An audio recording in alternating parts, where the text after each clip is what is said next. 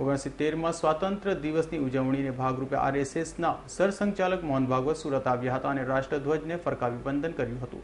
તો બાદમાં માન્ય ભાષણ આપતા તેમણે આજના દિવસના મહત્વને રજૂ કર્યું હતું અને દેશ માટે જાન ન્યોછાવર કરનારા દેશભક્તોને યાદ કર્યા હતા. અડાજણના રિષભ ટાવર ચાર રસ્તા પાસે આવેલ આરએસએસના કાર્યાલય ખાતે વરસાદી માહોલ વચ્ચે સ્વતંત્રતા દિવસની ઉજવણી કરવામાં આવી હતી. આરએસએસના સંચાલક મોહન ભાગવતે શહેરમાં રાષ્ટ્રધ્વજ ફરકાવ્યો હતો અને સ્વયંસેવકોની સાથે ધ્વજવંદન કર્યું હતું બાદમાં તેણે ટૂંકા ભાષણમાં પંદર ઓગસ્ટ દિવસ મહત્વનો હોવાનું જણાવી આજે કોઈક સંકલ્પ લેવાનું જણાવ્યું હતું અને કોઈ જ્ઞાતિ જાતિના ભેદભાવ વગર દેશપ્રેમ જગાવવાનું આહવાન ભાગવતે કર્યું હતું एक राष्ट्र गीत राष्ट्रगान में गाते हैं और केवल भारत माता की जय वंदे मातरम कहते हैं। जय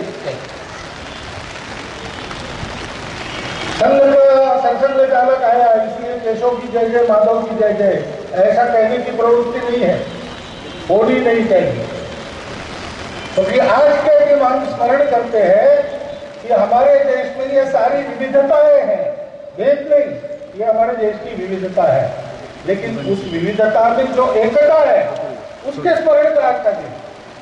સુરતમાં આરએસએસના સંચાલકની હાજરીમાં ધ્વજવંદન કાર્યક્રમ યોજાતા મોટી સંખ્યામાં આરએસએસના કાર્યકર્તાઓ જોડાયા હતા. Bureau report S nine news Surat.